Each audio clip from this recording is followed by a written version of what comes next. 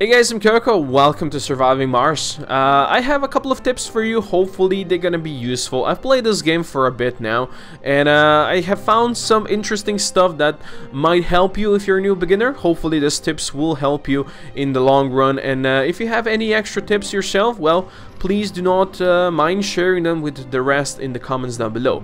But uh, without further ado, let's jump into them and let's see what we got. When you first start your expedition to Mars, you should always load up on orbital probes. They're gonna be very useful for you and uh, you can do a lot of good uh, exploration early on with them. As you're preparing to land, you should always go and grab your orbital probes and go and uh, scan the sectors around. Just, just so you can see if you can get some extra minerals out there, maybe some extra anomalies, and then you can easily decide where you want to land your first rocket. Later on then you can scan some extra sectors that are gonna reveal eventually the whole map for you. But you can you can boost that by building some extra sensor towers, which you can also boost by researching autonomous sensors, which will then no longer require power or maintenance, so you can go ahead and build them farther out there just using your drones.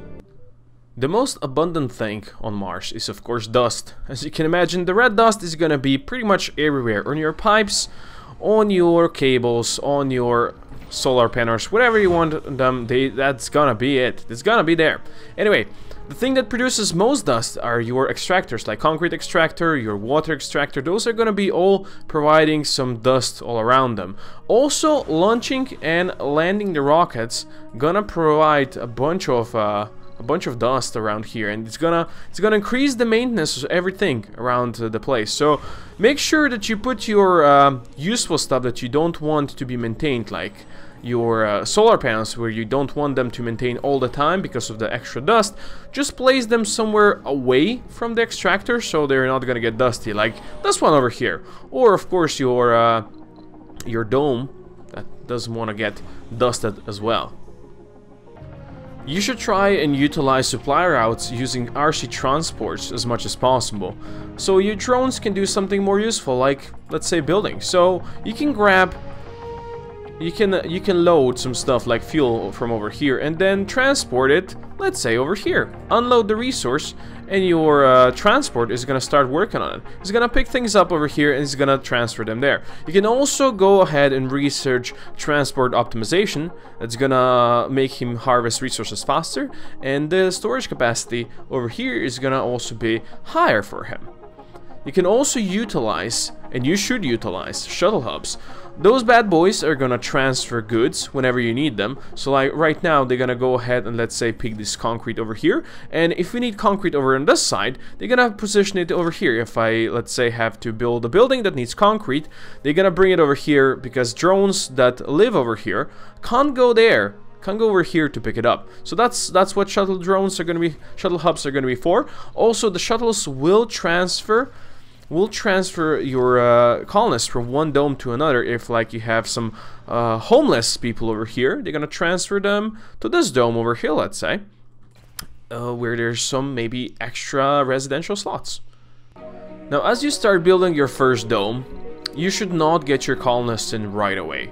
After you build your dome after it's constructed and ready to go, you should go and maybe pre-order some resources, like you might need them. Don't don't order passengers yet. And always, this is this is mostly for higher difficulties. Always, when pre-ordering some resources, just just drop some extra food in there. Just drop some extra food in there. Your rockets can handle it. Your rockets can bring it over here.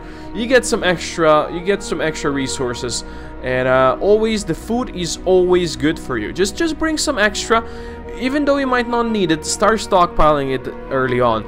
Your colonists, when they come here, they will bring, each one will bring one food, unless you're playing on the, the easiest difficulty, uh, when then they will have a lot of more extra food. I think you even start with a lot more extra food. But if you're not, if you're playing on higher difficulties, always just bring some extra food with you. Like, it's not gonna cost you too much, but it's gonna, it might save you a headache in the long term. One thing you should make sure is to always have enough, enough stockpiles. Like this one Universal Depot is not going to do anything for us in the long run.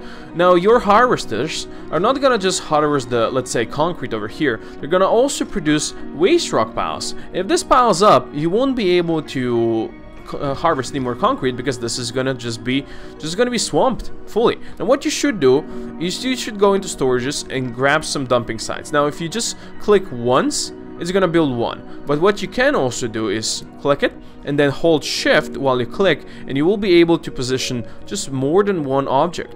You can build as many as possible and then your drones will go ahead and deliver the stuff out here so it's not going to be in your way. Later on you can also research the ability for drones to actually turn this waste rock into some concrete so you can actually clear out the piles so eventually it's not going to be just one huge pile of a dumped rock in the middle of your colony looking ugly as hell. Your explorer should be always out there looking for new an anomalies that you can research. Sometimes there's not going to be any, sometimes there's going to be a full, and plenty of them. Now, important thing that you should note is some of these anomalies might give you some extra research.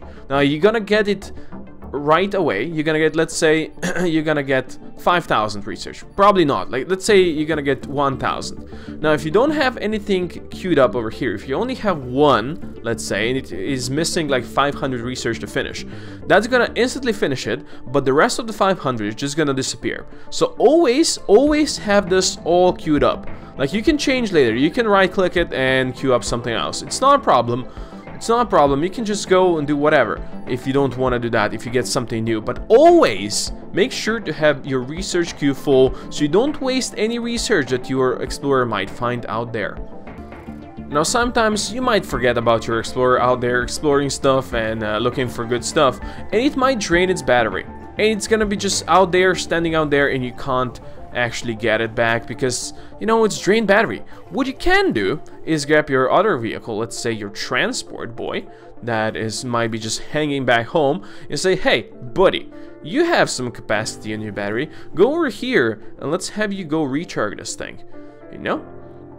You can recharge your battery, or you can just send him here now he is transferring power between vehicles. Now if I clicked on this, this would be him going to recharge from, let's say, this cable.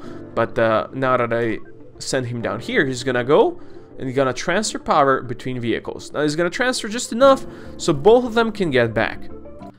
Every time you start your colony, you're gonna start with just some available funding it's not gonna be good, it's not gonna be great, it's not gonna last you forever. You're gonna spend it because it's gonna be useful to you. You need to spend it. So how do you get money back? Well, some um, some sponsors like Europe that I'm playing over here uh, has the ability to get money when you when you research something. You get double when you research a breakthrough science. That's good, but still not that good. So what you should be looking for is rare metals. This is the underground rare metal deposit. It has high grade, which is good for you because you're gonna get more out of. And then you have to build a rare metal extractor. You will need colonists to work it. You can build a couple around here. It's not a problem. You need colonists. That's why this dome is here because people from this dome is gonna work that. You need to build that, and then you either turn it into, I believe, electronics Yes, you can turn it into electronics or maybe polymers, I'm not quite sure, but one of these, you can use the factory to do that, or you can grab it and you put it on your shuttles out here. You can export up to 30 on it, and uh, depends on your uh, uh, starting sponsor, you're gonna get money for it. Like over here, uh, we have 22 million per one rare metal and you can uh, transport 30 right now right from the start later on you can research some more so you can transfer more so yeah you should always start looking for this rare metal deposit so you can have a you can have a funding that's going to reveal everything. You can also get a social uh, social research over here that's repeatable and it's going to give you, each time you research it's going to give you a 500 million per tick.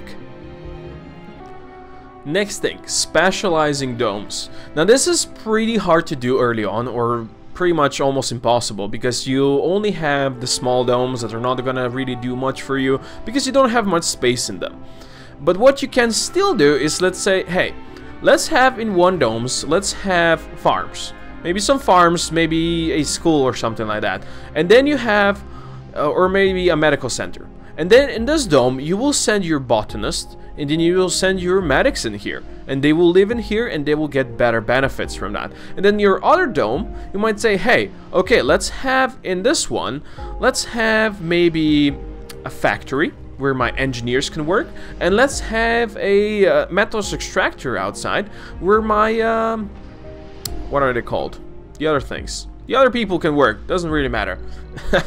Geologist, that's what I want to say. But yeah, try specializing, not too much early on, but later on when you have better and bigger domes, you might be able to do that a bit better. You have now found a very nice sector far away, far away from your uh, starting zone. So what you do? Well, you can't really run the cables out there because the longer your cables are, the longer your pipes are, the faster they're gonna start breaking. So that's that's a very painful decision if you want to do that. But what you can do is build the tunnels. There you go build the tunnels and those are going to be connecting your power grid there and your water grid there if you want to. It's not needed, but if you want to, you can do that. You can also have it self-sufficient. And uh, you can have your shuttle uh, hub bring all the resources you're going to need on this side. You're gonna bring the resources and you can build whatever you want. But how do you build over here? This is not connected to any of your drone hubs. You can't build? Well, you have your RC rover. The RC rover can have a bunch of drones. And you can bring it through the tunnel and it's gonna bring its drones back with it and then when the drones are here they can just use the resources lying around either pick up the metals that are out there on the floor or pick up the stuff the shuttles will bring over here on your de deposits that you're gonna drop and then your drones are gonna work for you and you will be able to do everything in any sector out there note that uh, the tunnels can't be too long I think this is for now quite the max distance like a couple of sectors in between but uh, you can have another you can have another one over here and connect to, let's say, over here, and then over here, just however you decide to do it, it's gonna be easy for you. You'll see. Now that's gonna be it for the tips that I had for you today. Of course, if you have any extra, please don't mind sharing them in the comments down below and uh, let me know what you think of my tips. Also, I have a I have my own series, a Let's Play going that's coming out daily. If you're interested in it, come and give it a check. Check it out. It's a fun one. I'm having fun. It's not too advanced yet, but uh, we're getting there slowly but surely. We're gonna get out there and uh, you know, just come say hi in the comments or, uh, you know, subscribe if you're new to the channel. There's something new, something that can be built every time. Like RimWorld, I have uh, uh, City Skylines running right now, so more Paradox games.